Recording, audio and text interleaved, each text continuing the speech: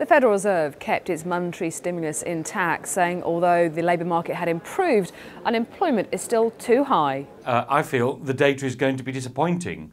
You know, we saw the September jobs data even before Washington uh, began its debacle. They were on the soft side.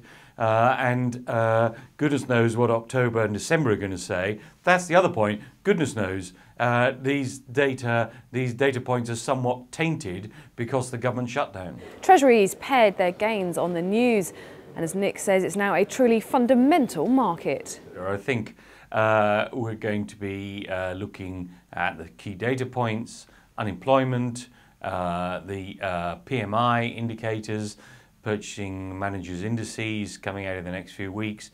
Uh, and I think over time they will appear soft uh, and, and, nothing to cause the Fed to, uh, to reduce its uh, purchases of bonds uh, before next March at the earliest. So, just how should that play into your strategy? My judgment would be two and a quarter percent would be a good place to short 10 year treasuries because as the spring finishes and we get into the second quarter of next year, I think we'll see some recovery in the States uh, and, and QE be back on the table.